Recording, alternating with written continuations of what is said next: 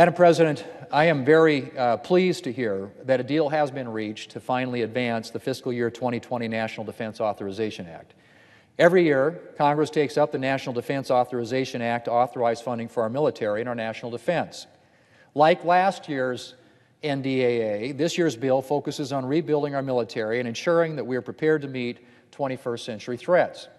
While many take it for granted that we have the strongest military in the world, in recent years our military advantage over near peer adversaries has eroded. Budgetary impasses combined with increased operational demands left our military undermanned, under-equipped, and ill-prepared for the conflicts of the 21st century. In November of 2018, the Bipartisan National Defense Strategy Commission released a report warning that our readiness had eroded to the point where we might struggle to win a war against a major power like Russia or China. And the Commission noted that we would be especially vulnerable if we were ever called on to fight a war on two fronts. Madam President, that's not a good position to be in. And restoring our readiness has been and must continue to be our top priority. This year's National Defense Authorization Act continues our efforts to rebuild our military. It invests in the planes, the combat vehicles, and the ships of the future, including the Joint Strike Fighter and the future B 21 bomber, which will be based at Ellsworth Air Force Base in my home state of South Dakota. It authorizes funding for research and development and advanced technology. It also focuses on ensuring that we're equipped to meet new threats on new fronts, including in the space and cyber domains. And of course, this bill invests in our most valuable resource, our men and women in uniform. The National Defense Authorization Act authorizes a 3.1% pay increase for our troops, which is the largest increase in a decade. This is not only something our troops have earned, it's also an important way to increase retention in an all volunteer force.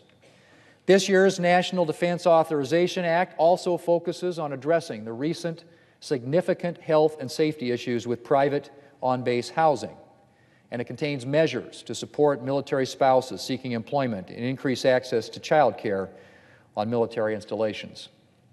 Madam President, I'm glad we're finally on track to get this important legislation done.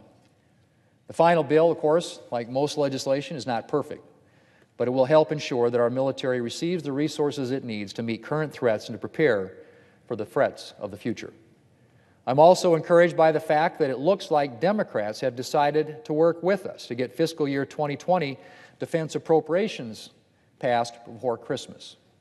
Needless to say that the 2020 defense appropriations bill, like the authorization bill to which I just uh, referenced, is critical legislation that authorizes the funding for current and future military priorities. It provides funding to support that pay increase for the men and women who keep us safe. It provides the funding for the weapons and equipment that our troops need right now to carry out their missions. And it provides funding for the equipment and technology that our military will need to defeat the threats of the future. It provides funding for missile defense, for research and development, for ships, planes, and combat vehicles to update our aging fleets. It also provides funding for our allies, including $250 million in military assistance for Ukraine. This is a critical national security bill, and it needs to be enacted as soon as possible. Madam President, it's unfortunate that we couldn't get this legislation done sooner, before the start of the new fiscal year in October. Delaying defense funding has left our military short of the resources it needs and unable to start important new projects. And so I'm glad, Madam President, that at long last, the Democrats are finally willing to work with us on this important legislation. It's time to get this bill done so that we can get our men and women in uniform the resources that they need without further delay, as well as uphold our national security commitments to our friends and to our allies. Madam President, I hope negotiations will continue to move forward and that we can get this legislation to the President's desk within the next two weeks before the Christmas holiday. Madam President, I yield the floor.